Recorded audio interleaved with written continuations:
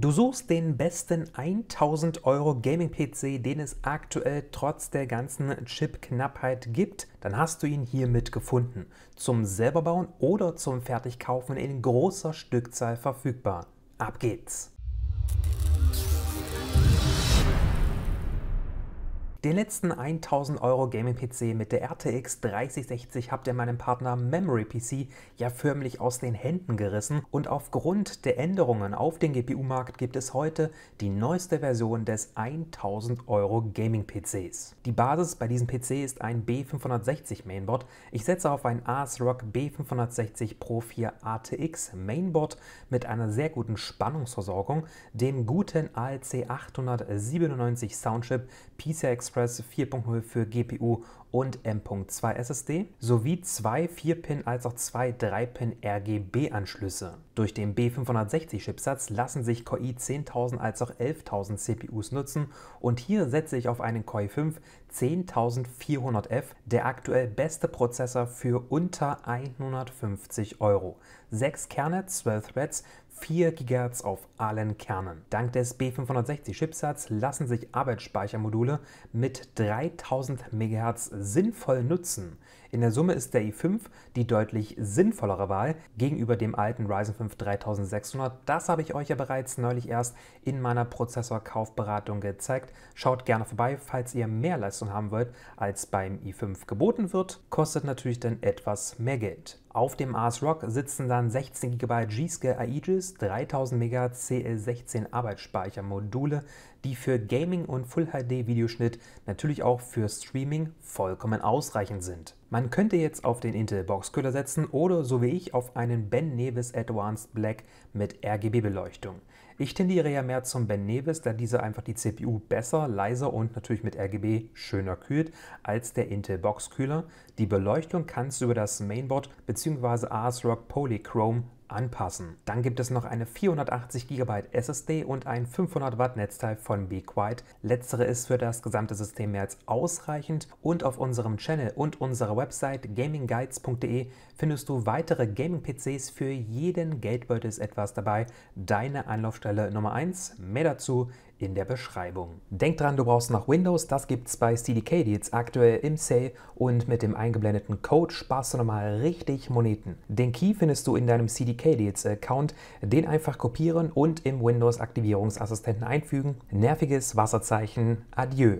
Mehr dazu in der Beschreibung. Die Grafikkarte war ja zuletzt eine RTX 3060, das ist heute leider nicht mehr möglich. Aber zum Glück gibt es eine Alternative, die weniger kostet und teilweise sogar mehr Leistung bietet. AMD RX 6600 XT, eine Karte, die in der aktuellen Zeit einfach super hilfreich ist für alle, dessen Budget bei roundabout 1000 Euro begrenzt ist. Die RX 6600 XT bietet 8 GB Videospeicher, PCI Express 4.0 und zum Beispiel wie hier in der Sapphire Pulse Version zwei 85 mm Lüfter und ein schickes Design in der sehr beliebten Farbkombination Schwarz-Rot.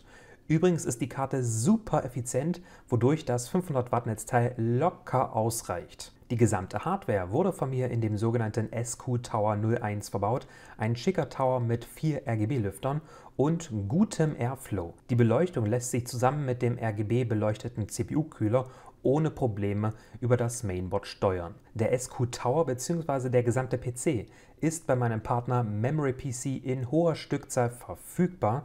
Ich habe mich erneut für euch eingesetzt, damit ihr den bestmöglichen PC auch kaufen könnt. Mit dem eingeblendeten Code sparst du nochmal 20 Euro bei diesem System. Dann kostet dich das Teil 1160 Euro inklusive Zusammenbau und Garantie.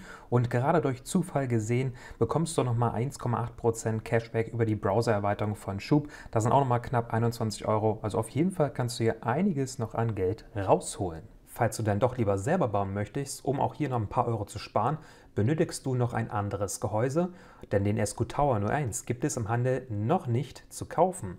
Meine Empfehlung Cooling Observatory Lite und ja, falls du nicht weißt, wo du jetzt irgendwas genau platzieren musst, Stecker, Anschlüsse oder ähnliches, dann schau dir unbedingt meine ausführliche Anleitung an zum PC selber bauen. Video dazu als auch zum Case und dem Rest findest du in der Beschreibung. Hier nochmal ein kleiner Reminder. Für diesen PC brauchst du idealerweise noch einen guten Gaming-Monitor und hier gibt es dank meiner neuesten Monitorkaufberatung für jeden Geldbeutel den besten Monitor. Auch dazu findest du mehr in der Beschreibung. Aber jetzt kommen wir endlich zum Test und wir fangen an mit dem 3D Firestrike Benchmark. Hier gibt es über 21.600 Punkte und in Timespy gibt es über 9100 Punkte. In beiden Fällen ein Top-Ergebnis und besser als der letzte 1000 Euro Gaming-PC. In Rainbow Six Siege bei Full HD und dem Preset sehr hoch gibt es im Schnitt 250 FPS, teilweise sogar 300 FPS und mehr und damit läuft Six Siege natürlich extrem flüssig. Assassin's Creed Valhalla freut sich enorm über die RDNA 2 GPU, denn in Full HD und im Preset hoch gibt es im Schnitt 85 FPS, was auf jeden Fall sehr lobenswert ist. Call of Duty Warzone in Full HD und hohen Einstellungen, hier gibt es im Schnitt 100 bis 110 FPS. Sofern du die ein oder andere Option noch etwas verringerst, sind dann auch die 144 FPS drin, was auf einem Monitor wie beispielsweise diesem AOC, den ich nutze, schon echt Laune macht. Wechseln wir zu Apex bei Full HD und hohen Einstellungen.